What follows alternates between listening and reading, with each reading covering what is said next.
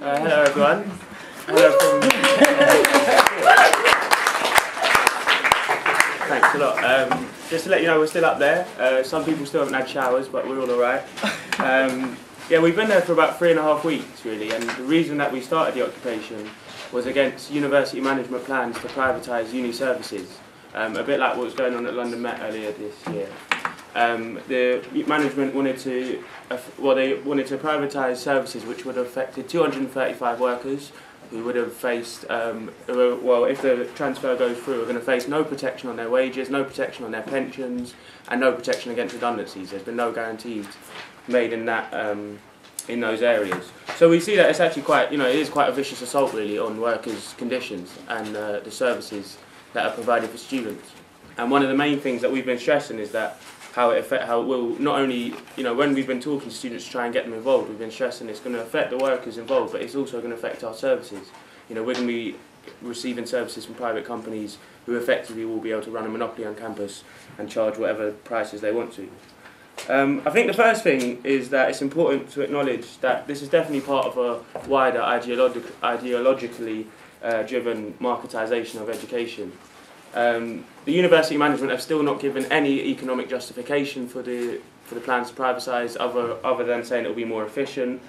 And you know, I think this is definitely you know in the context of when we've got you know we've got the privatisation or the effective privatisation of the secondary schools with the academies brought in by Michael Gove, um, and we see that on a lot of campuses across um, Britain. You know, privatisation is a key issue, and that it really is part of a sort of wider drive led by the Tory government to um, privatise and marketise education. And so, in, in light of this, I think that we definitely need national um, united action to defeat this, and we really need to work together and you know uh, show solidarity with each other in terms of fighting this um, this national drive towards you know to against education. And so, one of the main things I'm going to be calling for is that we've got a demonstration on Thursday at one o'clock, which we do every Thursday.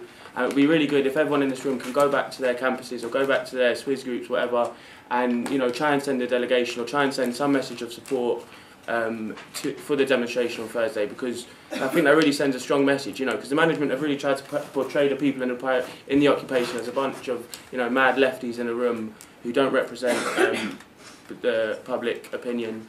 Uh, and it would be really good to show that this is this is sort of a national issue that is affecting lots of lots of universities, and it's not just about the 235 workers at Sussex. It's really about uh, education on a national scale.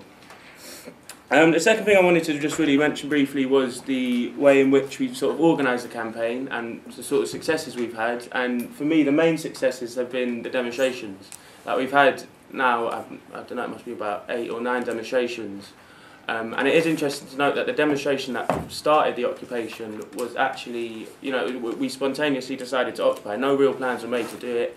Um, the week before that demonstration that began the occupation, we had an organising meeting and only 10 people showed up uh, for it. And so I think it really gives the impression that you know you have really got to seize the moment. And if you think you know if you think everyone here you know if they think there's a chance of occupying a building at uni, they should really go for it because these these kind of things, you know, they do start with. Um, with people, and you know, start with with a demonstration. You know, it just happened that on that day the demonstration was 200, and we felt confident about taking the conference centre, uh, you know, the University Management Conference Centre, and we went for it. And it's it really it's really grown and grown uh, since then, and more people have been brought in.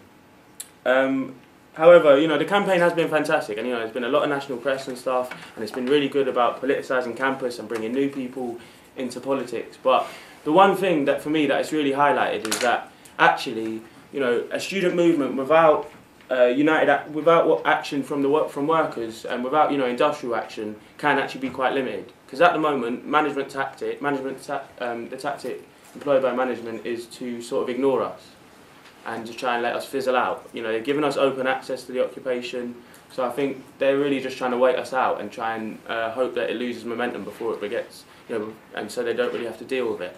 And one of the things that I'm really going to be pushing this week, and that you know we're all really trying to push this week, is to really escalate this week, both in terms of pushing um, staff members to get active in the unions and pushing you know the staff to the affected staff to um, push for strike action in their unions and also for an escalation in the tactics that we use. Because I think that is very important.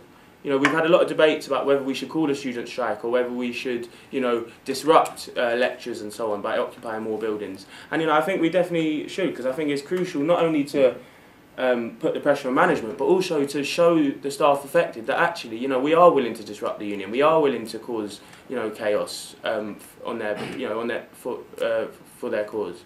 And that, you know, if we can really push for an escalation in tactics, then I think that it gives um, staff the confidence to uh, argue for more um, more action on behalf, you know, in terms of industrial action and in terms of unions.